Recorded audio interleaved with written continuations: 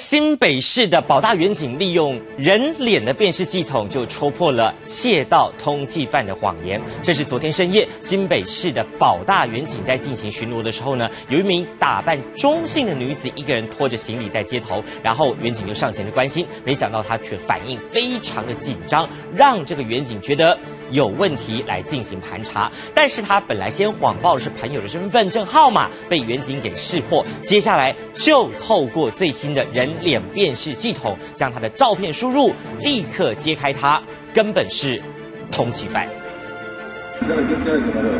看见男子一人深夜里拖着行李在街头徘徊，远警上前关心，但一听声音才发现是位女孩子。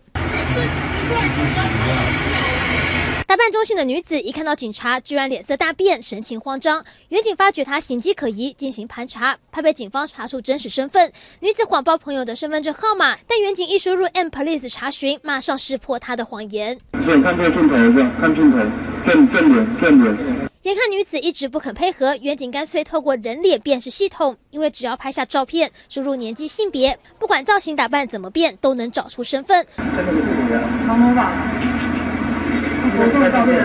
果然，不到几秒钟时间就真相大白，原来他是窃盗通缉犯。是窃盗通缉嘛？就是都可以逮捕了啊！被通缉了，你都被法院通缉了，而且要被通缉了。证据就在眼前，女嫌犯依旧拼命狡辩，还使出苦肉计，在远景面前放声大哭。他当时辨识出来的时候，有提示那个相片给他给他看，那他还是极力的否认的。说那个人并不是他，经过核对是他，确实是他本人无误啊。但实在是百口莫辩，女子只好乖乖就待。原来嫌犯因为和家人吵架，负气离家，正准备打电话请朋友接应，没想到却遇上警察。女子躲了一年，终究还是躲不过高科技。记者新北市综合报道。